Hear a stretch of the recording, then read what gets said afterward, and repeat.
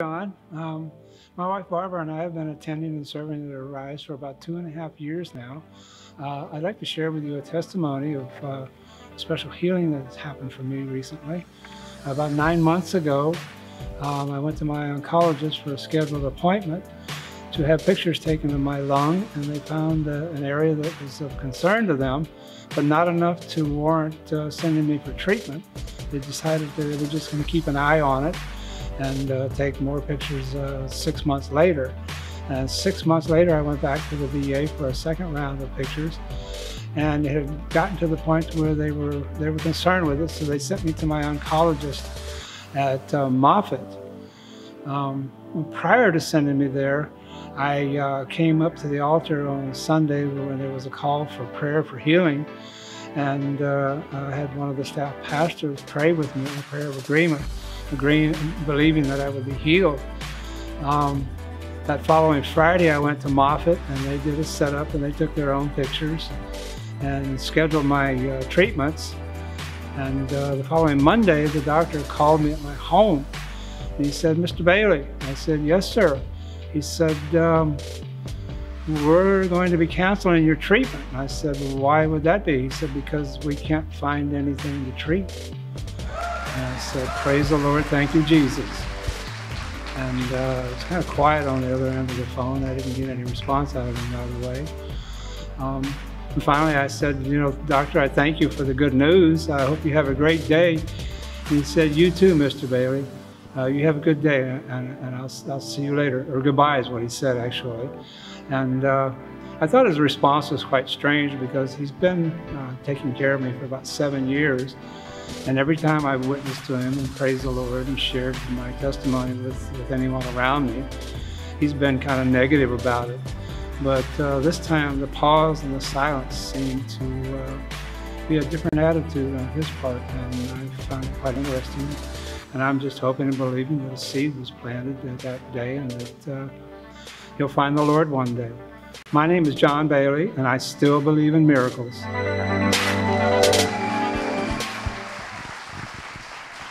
Hey, good morning, risers. How you guys doing this morning?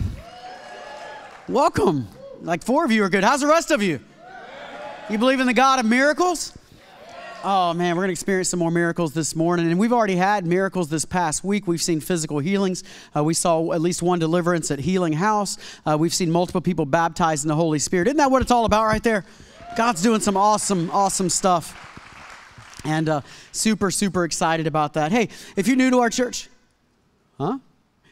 If you're new to our church, my name is Brent. I get the privilege of being your lead pastor, and uh, super excited we get to continue to experience God together today. Hey, um, I, I was just thinking about this. Um, there's a story uh, back in 1995. It kind of became a pop culture legend. You may or may not have actually heard of it, uh, but there's a fellow by, fellow by the name of MacArthur Wheeler, and uh, MacArthur uh, was. Um, well, let's just say, let's just tell you the story. You, you, can make your own ideas about him. MacArthur realized that you could make invisible ink with lemon juice. Anybody know you could do that? Right, so you, you can make a vis- invisible ink with lemon juice. And so he actually took lemon juice and put it all over his face. He took a Polaroid picture of himself that did not develop for whatever reason uh, correctly, and he could not see his face in the Polaroid picture. Therefore, MacArthur reasoned that my face is invisible. True story, not a joke, true story. And in 1995, in Pittsburgh, Pennsylvania, he realized he could make his face invisible and nobody could see him. So, in broad daylight, with no mask over his face or anything, he robbed two banks at gunpoint. That's MacArthur Wheeler right there. Uh, two banks at gunpoint. Uh, he actually said it was relatively difficult because the lemon juice kept getting in his eyes and it was burning his eyes. And later on that night, they put his picture on the news. The news, you know, puts the word out, and people immediately go, "Oh, I know that guy," right? And so the the police come and capture him at his house, and uh, because you cannot, I hope you you can't make your face invisible by putting lemon juice on it. Might make it break out. I don't know. This actually led to this interesting study that became known as the Dunning Kruger effect, that kind of came out of this. He became kind of the, the, the story of it in a lot of regards. Uh, the Dunning Kruger effect basically says that those who know the least are oftentimes the most confident that they know the most. Let that sink in. Uh, go, go, to that next slide, George, will you? Uh, the Dunning Kruger effect. And so you can see it right here. So the confidence of those who know nothing is very high. I do find it ironically that it says know nothing on the bottom left hand corner. Some of y'all get that. Ask your, yeah. No, I'm, i thought that was funny. I, I, stole this, I didn't make this. Um, but those who know nothing, K N O W, are oftentimes the highest on confidence that they actually know something. Anybody have any teenagers? Just pointing out there might be other evidence other than MacArthur. So, those who are, I mean, they're very confident. And then, with life experience and knowledge in the field of what you would know, it actually dips to, for most of us in most fields, we realize we don't really know that much about it, right? You can put an algebra problem in front of me now, and maybe in high school I can answer it, but now I am lost like a ghost in the fog. I realize I don't know all that much about it because uh, I know. So, so, for most of us, hopefully, we're in that place that somewhere in the middle where we realize we don't know that much. We're not that confident with it. And then, when you do actually become an expert, expert in a field, it goes back up and goes fairly high, but it never actually goes as high as those who don't know anything. Isn't that a wild study? Could it be, I wonder, sometimes in the church world, I, I was just thinking, could it be sometimes that the Dunning Kruger effect could actually hit you and I because we come to contact with Christ. We know something about Christ. We, we have a general idea about the Bible and the Word of God and revelations from the Word and the Holy Spirit in our life. And we have a general idea about it, but we get to a place that we think we know everything. Bless God. I know Jesus, I know the cross. I know that I'm going to heaven. I know, I know, I know, not realizing how ignorant the very fact that we would say that is because God's grace and revelations are so far beyond us that you actually don't know them. You know a sliver of them. Are you with me? And I wonder if the Dunning Kruger effect couldn't actually hit us sometimes. I wonder, do you know how little you know? it's a good opportunity. Just say that to your spouse real fast. Do you know how little you know? How little you know?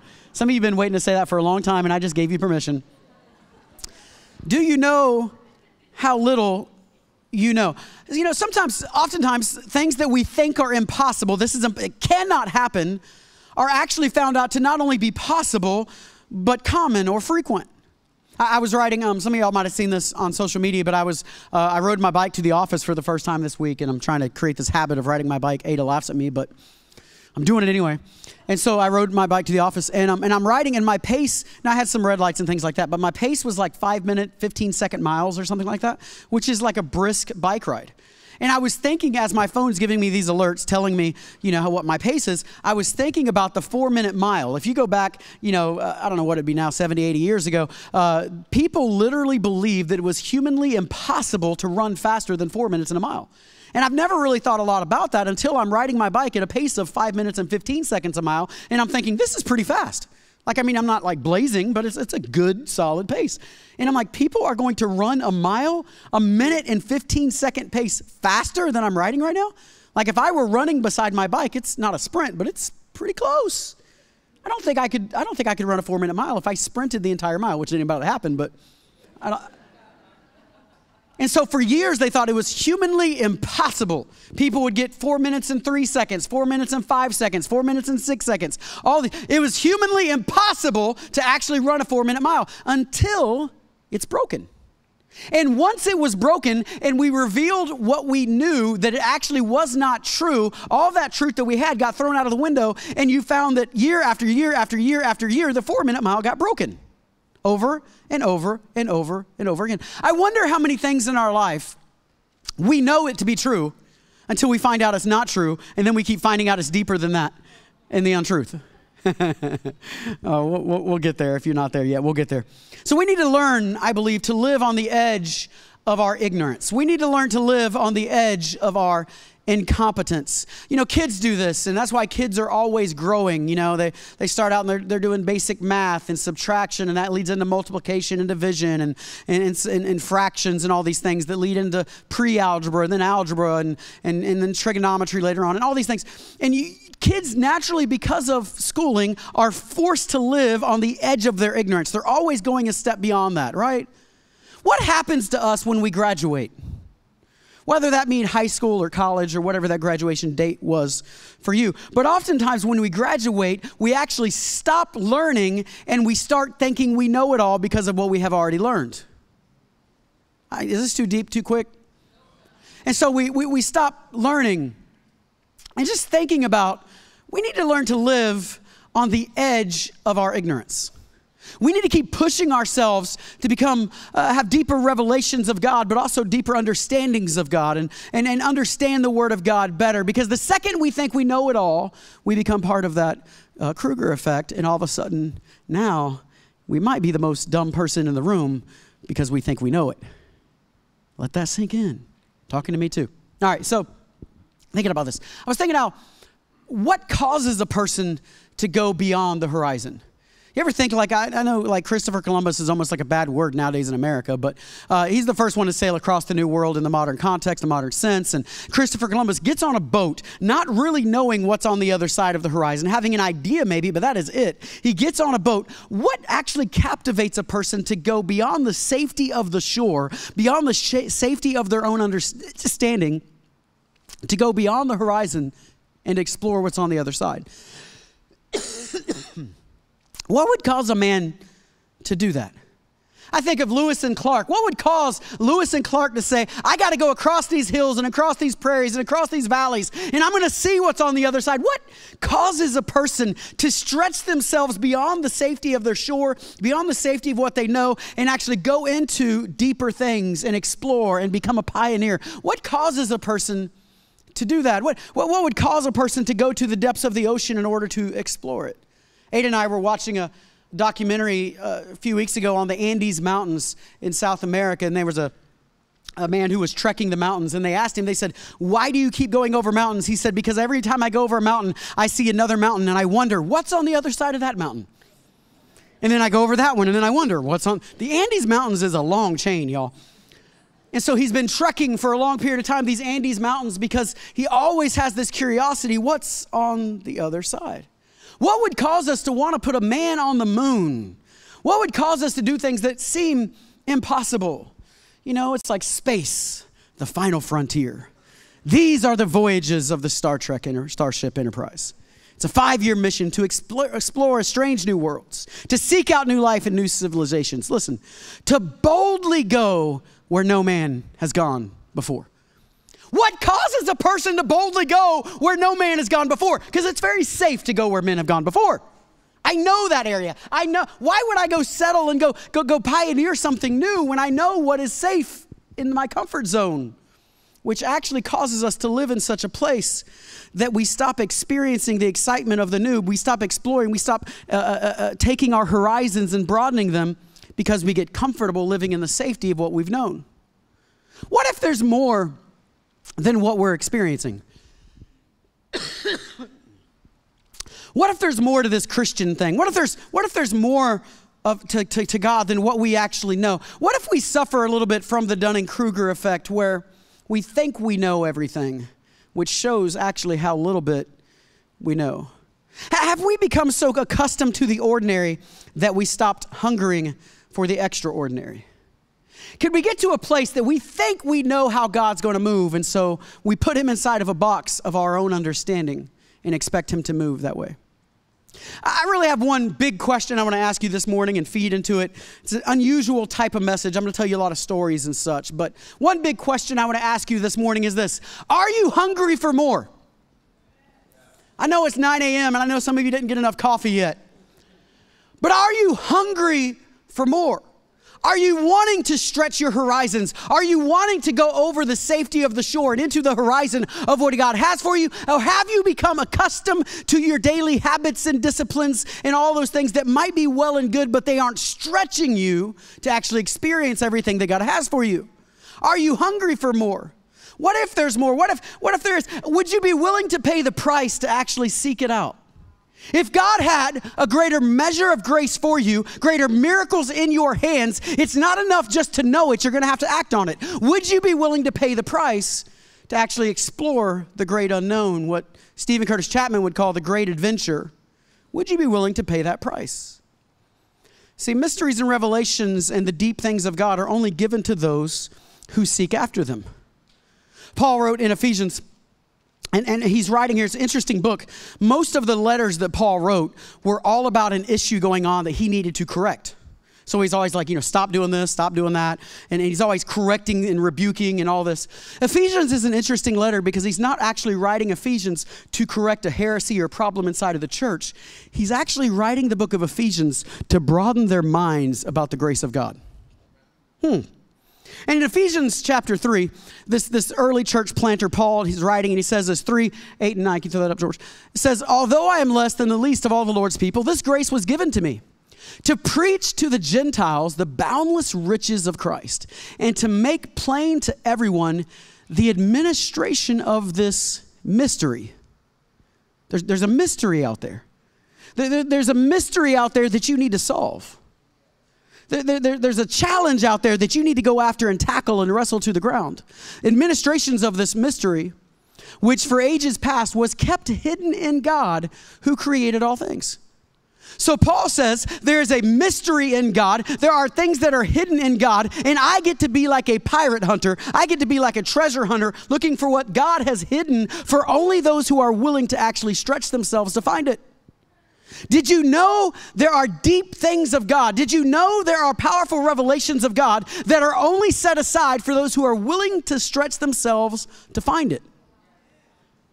It's good that you can come and hear a sermon or that you can go on YouTube and watch a sermon or what have you. That's, that's all fine and good. And you get secondhand revelation from some pastor or some teacher or leader who found it themselves. But there's something far greater than that, and that is when you receive the revelation yourself because you're stretching yourself deeper. There's a revelation reserved only for those who are willing to seek it. There might be more on the horizon for you than you really realize. So, is there a hunger for more? Is there a hunger for more? The fact the room is this quiet right now tells me that this message is important. because I want to preach to a church. I want to experience a church. I want to be a part of a move of God where people are desperately hungry for God. And, and my goal this morning is to relaunch and reawaken a hunger inside of us. See, if you're taking notes, hunger is a sign of physical health. We know this, it's fairly obvious. If you have a child and the child decides they're not eating anymore, especially when they're younger and they can't describe to you what's the problem, you know that something's wrong. Child should be eating. If you have a teenager boy and they stop eating, you know something is really wrong. Come on, somebody. It might be like he might be heartbroken. I mean, something was seriously wrong. Because hunger is a sign of physical health. And uh, interesting things about hunger start to happen when we look at this. You know, if you go long enough without eating physically, you actually start to lose your appetite. It's a weird phenomenon that happens. Anybody ever fasted, you know, more than three, four, five days, anything past that? At some point in that process, you actually start losing your appetite. You lose your hunger. You're not hungry. So get this at the same moment that you are starving, physically starving, like not just like I'm starving. No, I mean you physically are starving your body. At the same moment you are starving, your body stops craving the very nourishment that it needs. Isn't that a weird phenomenon? It's very strange. Some of you are like, that happens. Just fast for longer than three or four days. Somewhere in there, you're going to see it. You get up, you, you, you just, you're not hungry anymore. Isn't that weird? So, so the very thing you need, you no longer have a hunger for it. Is that not a picture of the world that we live in? That spiritually speaking, they are starving to death, but because they have fasted without the Lord for so long, they no longer even realize they have a need for the Lord. Meanwhile, they're dying without the Lord. You know how you fix that problem when you're fasting? It, it kind of works in, in multiple ways. One, if you start eating, the first time you take a bite, that hunger comes right back. And again, if you fasted, you know what I'm talking about. You eat one french fry, you eat one bite of chicken. That, that's why you don't break that fast after four days, because it is not worth it to have one little thing, because it's going to mess, you got to start all over with the appetite thing. So, so you eat one little thing, and all of a sudden now, you, you, you, that hunger comes right back. That, that's why some of you, you, you haven't been to church in years. You walk into the church world, and all of a sudden you come back alive, and you're like, I'm so hungry for this. It's been so long, and you weren't hungry a week ago. But now you stepped into an environment where food was being served. You, you know when else it can be hard, depending on your tolerance for food? When you smell it. I'm okay with looking at it, man. I can I can look at Pizza Hut commercials, not really that much of a bother. I can I can watch the you know Olive Garden commercials and, and all that kind of stuff. I can do all that and it doesn't bother me so much. But you put me in the environment where I smell it, and all of a sudden I'm like, mm, I, I need some of that. It reawakens the hunger all over again. What what environments are you creating around you? Because when the church of Jesus Christ becomes content and not hungry any longer, when we're not actually creating the environment that fosters the hunger of God, the world will not be hungry for it. Are y'all with me?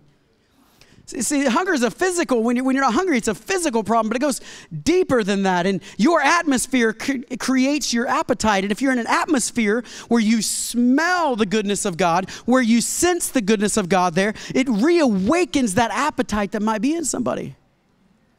Some, some of you are shaking your head, yes, because you've experienced this, because you can go years without going to church and, and you were far away from God and you walked away from Him, and all of a sudden you're in the environment of somebody who is genuinely hungry for God and genuinely loves Jesus, and something inside of you awakens, and you're like, oh, I miss that. I want that.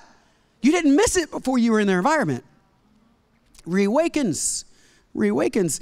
And the healthy Christian is going to be an interesting phenomenon because, because when you are physically hungry,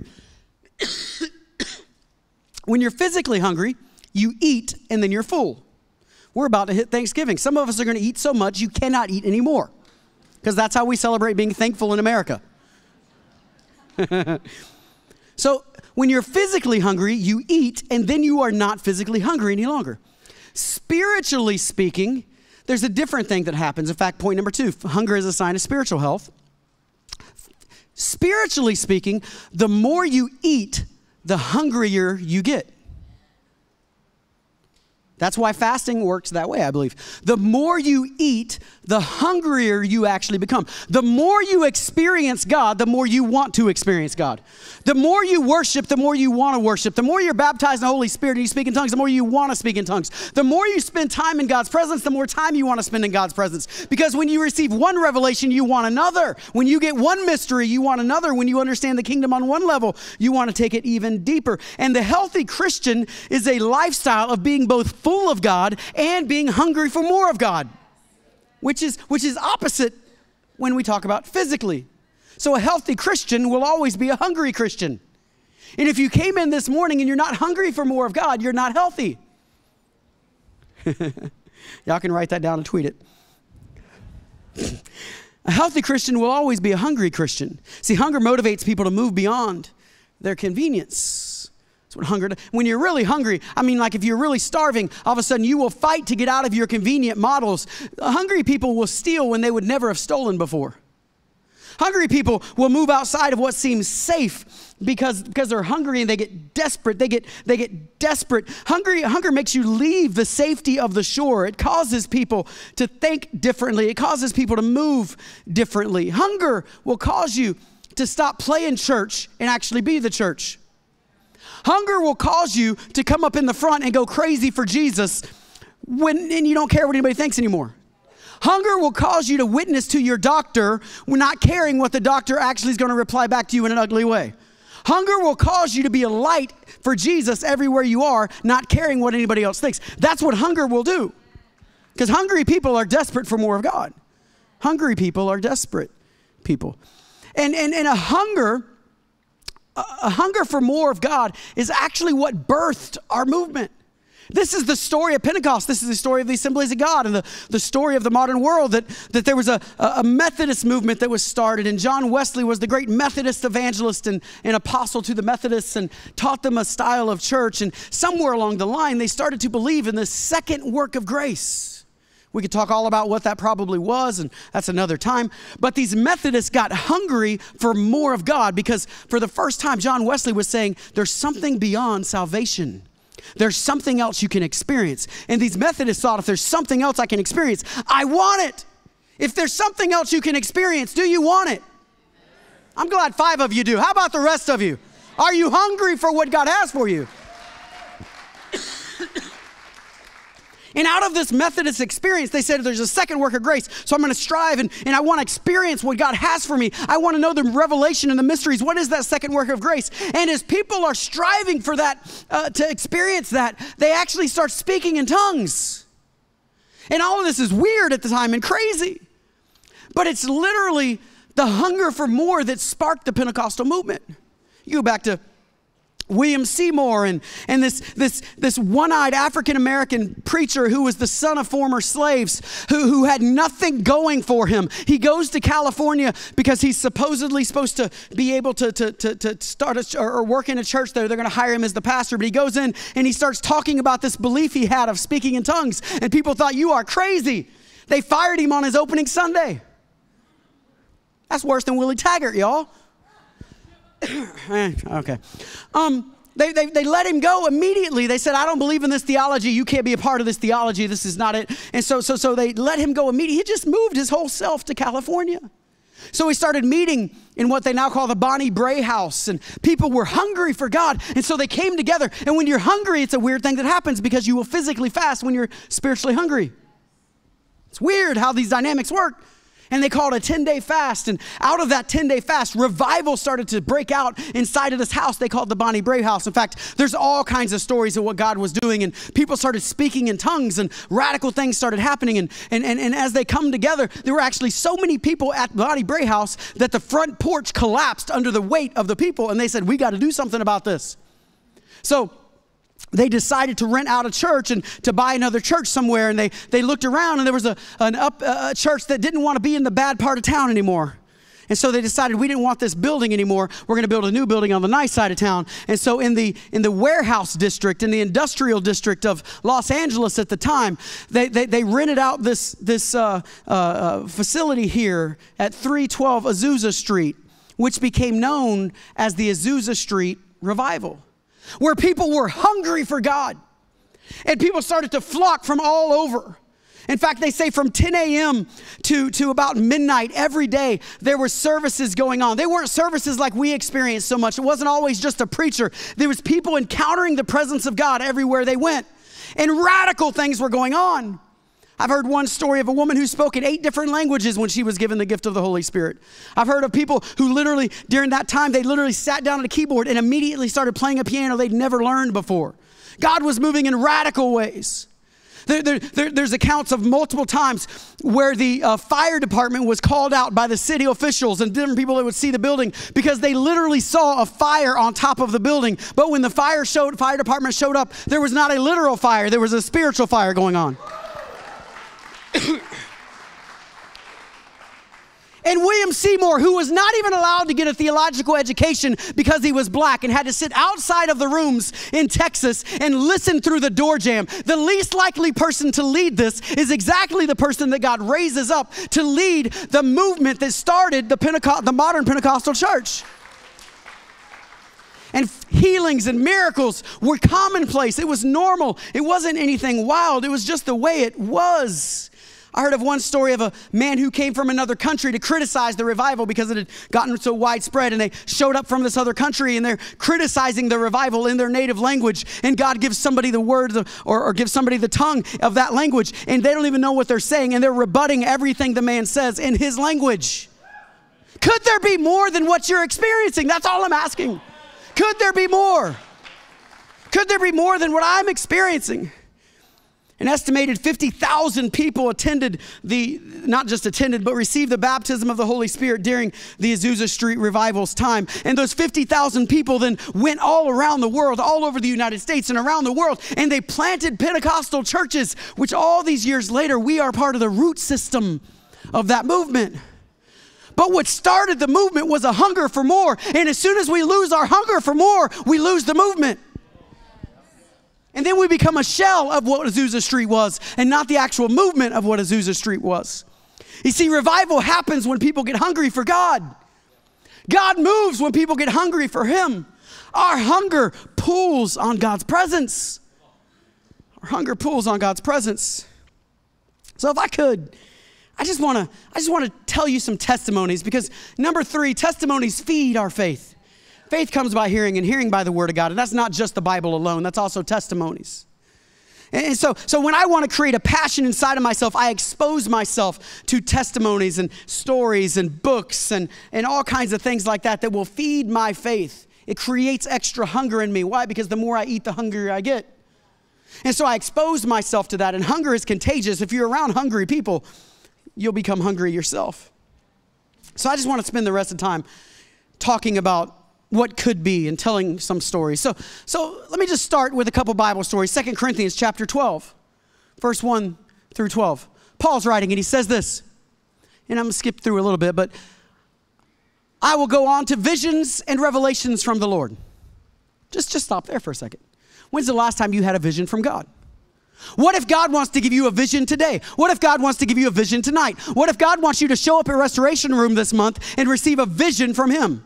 What if God wants you to spend some time in prayer separate from everybody else and He will download visions and revelation? It's not just for Paul because he's the apostle, it's for you because the Holy Spirit lives in you. I knew a man who was in Christ. He's talking about himself in third person. He's like a professional athlete.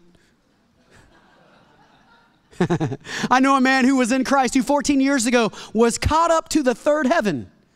That, that, that's like the heavenlies. That's like, that's like what you and I would call heaven. That's what the third heaven would be right there. So he's caught up into heaven. This isn't some weird guy writing a book. This is the Apostle Paul. What if God called you up and showed you great revelations and deep things of the Lord? Whether it's in the body or out of the body, I don't know. God knows. I know that this man, talking about himself, was caught up to paradise and heard inexpressible things, things that no one is permitted to tell. What if God wanted to take you deeper? What if God wanted to show you revelations and give you visions and show you deep things of Christ? What if God wanted to call you higher? What if? What if? How about Acts chapter 5? How about this? Acts chapter 5. The apostles performed many signs and wonders among the people. Just stop there for a second. We need signs and wonders in our midst.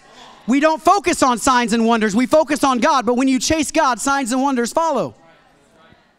And the believers used to meet together in Solomon's colonnade. No one else dared join them, or even, uh, uh, even though they were uh, highly regarded by the people, people were literally scared to come to church because God's power was so strong. When's the last time that happened? Nevertheless, more and more men and women believed in the Lord and were added to their number. As a result, people brought the sick into the streets and laid them on beds and mats so that at least Peter's shadow might fall on some of their some of them as they passed by. Could it like, like what if? What if? I know this is crazy. I know this is outlandish. But what if the person in the cubicle got healed next to you because you were next to them? What if? I just want to stretch our imagination a little bit. Your imagination is God's playground. That's why it needs to be sanctified and full of the Word of God so that God can show you the deeper things. What if amazing things wanted to happen that might not even be on your radar right now because we have the Dunning Kruger effect and we think we know it all. I know how God, I know how I have to pray for somebody. What if He wanted to use you in a different way? Crowds gathered from the towns around Jerusalem, bringing their sick and those tormented by impure spirits. And all of them, all of them, all of them were healed. I know we have theology that says sometimes people aren't healed. I understand that. I agree with that. I know there are different reasons and different things and blah, blah, blah. I, but what if God just wanted to heal everybody despite my theology? I don't know. What if God wanted to say cancer be gone and leukemia dis- disappear? What if God wanted to heal everybody? I have a friend named Clayton King. Clayton King was in uh, Zangalar, Tibet a number of years ago, well, not too long ago now, probably 10 years ago. He was in uh, Tibet working with some Buddhists there in an area where they literally killed Christians all the time. In fact, a, a, group had come in with like a couple dozen Bibles and they had killed them for having Bibles. Meanwhile, Clayton comes in with his team that has hundreds of Bibles to give away. And uh, so, so there's this tension that's there and this really cool long story I don't have time to get into, but they're doing some medical missions 50 miles outside of any real town. So they've trekked 50 miles through the mountains to get to this place in Tibet, right outside of Nepal in India. They trekked 50 miles to get there. And as they get there, they said, they said, you know, what do we need? What do you need? So they're working and helping people. This lady comes in and she says, hey, we're, we're delivering a baby. We need a doctor who can deliver a baby. Clayton, can you deliver a doctor? And Clayton says, I can do all things through Christ who gives me strength, but I cannot deliver a baby. But he said, I know somebody who can because they actually had a doctor with them on the trip. And so they go into this tent, and this woman is in hard, painful labor. And the Buddhists are all around, touching her on the head and doing different incantations and all these different things going on in this mixture of Buddhism and Hinduism that would be there in Tibet. And they're doing all these incantations and stuff. And this woman is in deep, deep pain, and the, the doctor's feeling her stomach and working with her, and all this that's going on. And the doctor finally says, Okay, we got a problem.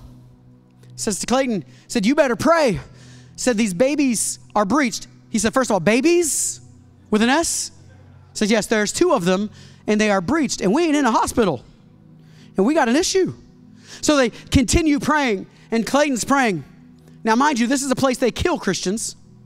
And Clayton actually, in the middle of praying through the interpreter, he says, Tell them this. They said, Okay, we'll tell them. He said, Tell them that God is going, that, that God sent us here as American missionaries and say, What God sent us here as American missionaries. He said, Tell them that we're gonna, our God is gonna show how much greater He is than your God. And they said, Okay. And he said, Tell them that that when these babies are born, they're gonna be born healthy. And if they're not, if they're not born healthy, you can kill us. The interpreter said, You say, you say kill us? you, you, you say, kill us? So, through some fighting, the interpreter finally interprets that. Say, you can kill us if these babies are not born healthy. A few minutes later, the lady who's the doctor looks up at Clayton and said, You better have heard from God. because there seems to be some complications with this birth. And they get the first baby out, and the first baby's fine, seems good. They pull the second baby out, and the baby is cold, has been dead for hours, not alive. This is a doctor in that little room. The entire village is, you know, small villages. The entire village is crowded around the house, looking in the windows, watching what's going on, waiting for anticipation to see what's going to happen. The entire village is there. And the baby comes out, and the baby's already cold and, and, and shades of blue and all that that would be there. And the baby is born that way. And Clayton, not knowing anything else to do, what would you do in this situation? Starts crying out to God, going, God, you got to show up in this situation, or we're going to die as martyrs here in this Tibetan village. God, you got to show up. And they started crying out to God. And as sure as I'm standing here, that baby coughed and started breathing and came back to life in that room.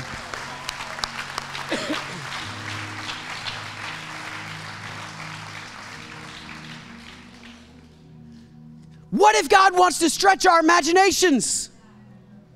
Shane Willard's an evangelist friend of mine. Shane was in a, uh, um, uh, uh, what's the name of the country? I have it written down. Shane was in um, Fiji in 2004 and he was working with some Hindu people there in Fiji, and they had a bookshelf of gods. And he's talking to this, this Hindu priest, and he says, Listen, he said, he said, Our God is greater than all of your gods. And he's trying to describe it. He's going, Jesus isn't the God you put on the bottom shelf. Jesus is the God of gods. You put him on the top shelf. And he's sharing all these ideas with him. And the man spoke back and he said, Well, here's the deal.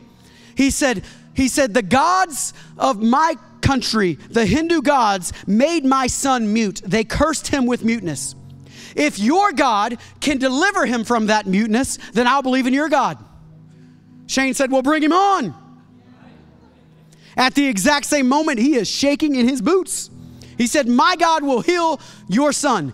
He said they went to get his son, took him a few minutes, they had to go find him and get him, get him into the house, kind of thing. He said he is shaking in his boots the whole time. The whole time in his in his outward, he looks like he's got it together. Anybody know what this looks like? On the inward, he's going, God, please show up, please show up, please show up. I just put you on, God, please show up, please show up. But on the outside, he acts like he's confident, right? So the son finally starts to walk into the house. He walks into the house. Shane, shaking in his boots, walks into the house. Nobody laid hands on him, nobody touched him. He fell down under the power of God. And when he got back up, the first words he said was, Jesus is God.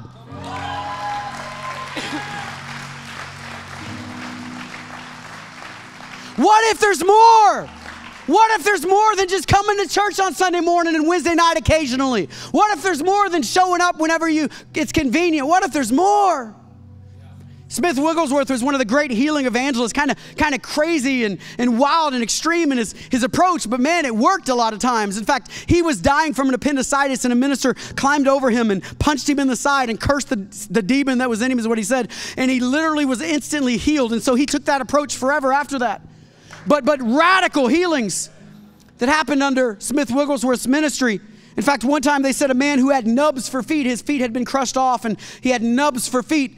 And, and Smith said, Go buy shoes. And the man's like, I don't need to buy shoes. I ain't got any money, first of all. I don't need to buy shoes. I don't have feet that would fit the shoes. It's pointless to buy shoes. But he went, after hesitating, he went and bought shoes, came back to the revival the next night. And Smith put the shoes on his feet. And when he put the shoes on his feet, his feet began to grow out into the shoes. Listen, I know some of you are way too intellectual to believe that. But what if? What if God really works in miracles today? What if great things are still being done? Smith Wigglesworth is said to be on, on, on trains, and people around him would be convicted by the Holy Spirit because it was on him so strongly. Uh, multiple times, women and people would come in with crutches, and they would be physically healed, and lame legs that hadn't walked in, in dozens of years that were shriveled up would be completely restored, and he would, they would walk out fine. It's not about Smith Wigglesworth, it's about the power of God that lives in us.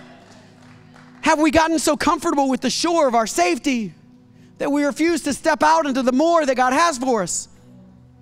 My friend Dean Niforatos was baptized in the Holy Spirit and spoke in tongues and, and this and that. And he's in an elevator one time in, in, in, a, in a country and, and, he's in the elevator, and the Holy Spirit just came on him, and he began speaking in tongues in the elevator. Now, this is a friend of mine. Dean literally led the man to Jesus in a language he did not understand.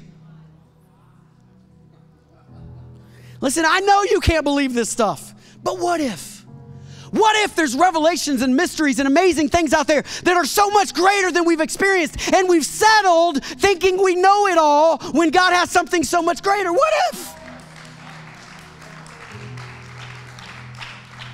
I think of Rees Howells and the, the Welsh revival that was a mighty move of God that in some ways touched the Azusa Street revival and was a preemptive revival to Azusa Street. And you, most of you probably never heard of Rees Howells. All these people from the Welsh revival are getting saved and, and wanting to go into ministry, but nobody knew how to pray. So Rees said, I'm going to start a school that just teaches you how to pray.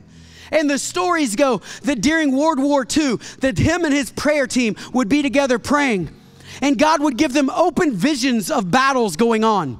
And they would pray over those battles, and God would reveal to them how to pray over those battles. And then two days later, over the news and over the radio, that was the common message of the time. Uh, over that, over the radio, they would hear that the battle played out exactly the way that they had prayed. Listen, I'm not taking away from I'm not taking away from our soldiers who did the work of the battle, but maybe there was a spiritual battle also going on in the heavens. Maybe there was something a little bit more, something a little bit deeper. And maybe we're so physical that we can't see the spiritual. Maybe we know it all so much that you can't see what's right in front of us. We could talk about the Jesus movement and how it hit cities and it started to change lives all over the place. And, and hundreds of thousands of hippies started coming to Christ. And the church didn't even know what to do with them because the revival that spread across North America was so powerful. We could talk about Oral Roberts and Kathryn Kuhlman and Aimee Semple McPherson. We could talk about John G. Lake, who they say had 100,000 documented healings under his ministry. 100,000. We could talk about these people. And all I want to do, though, is say maybe there's more than what I'm experiencing. Maybe I shouldn't be so happy with just the way things are. Maybe there should be something inside of me that's chasing and reaching and longing for more. Maybe we need a God chaser mentality in our church again that says there's, there's a hunger that exceeds our grasp for God and we're going after Him.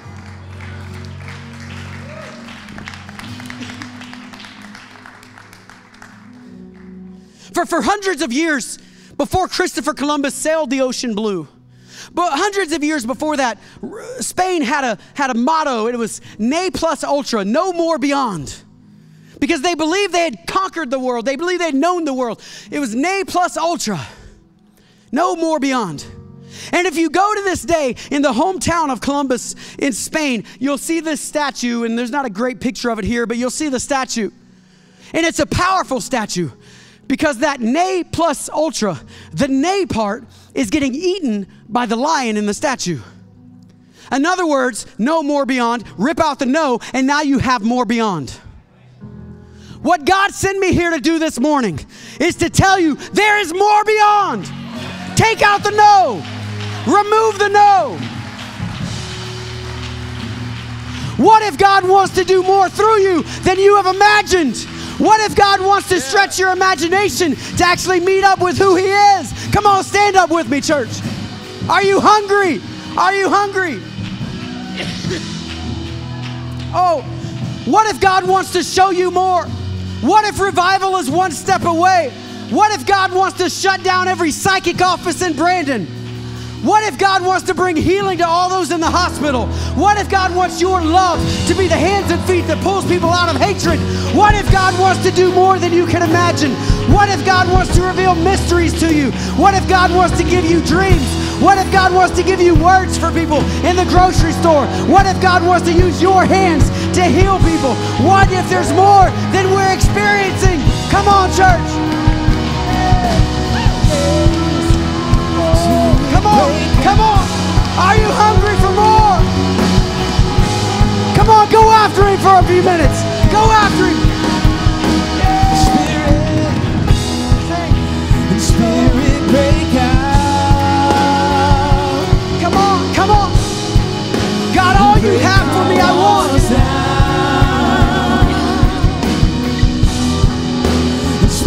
I'm not satisfied.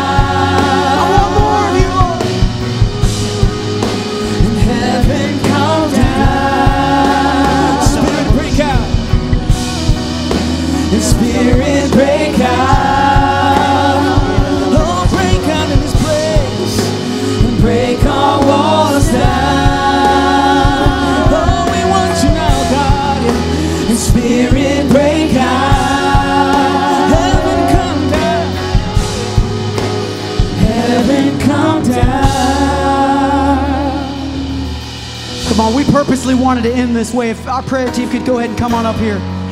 If you are hungry for more, if you will be humble enough to admit, as I do, that I have lost my hunger and I need God to reawaken a hunger inside of me, I become, I become confident in what I know, which probably shows me how little I know. The Dunning Kruger effect is alive in my life. If you're like me and you say, I just want more of God, I'm just hungry, I don't care what anybody thinks, I don't care if I got to leave my husband or my wife at this chair, I want more of God. I want you to begin coming down and we're just to worship and go after God for a minute. And this prayer team is going to be anointed to lay hands on you and see revival happen in your life and reawaken a hunger in your life because we're hungry for more. Crying out to God, make me hungry again. Come on, church. Our Father, and Come on, come on. heaven roars your name. Sing louder. I want to be full while I'm also hungry. This place erupted praise. You hear it? The Hunger is your gateway to revival. touching earth. Oh yes, the sound of heaven touching earth. Hunger is your gateway to revival. Father, Revive us, all of heaven your